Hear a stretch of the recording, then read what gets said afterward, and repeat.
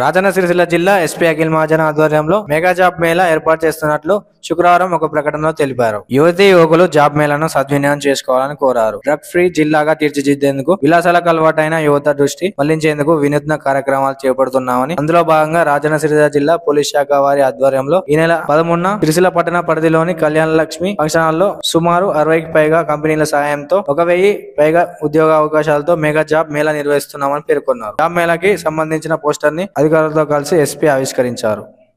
జూన్కి Kalyan Lakshmi hall Sircilla టౌన్లో ఇది arrange చేస్తాము. సుమారు సిక్స్టీ కంపెనీస్ వస్తుంది థౌజండ్ వరకు వేకెన్సీస్ ఉన్నాయి.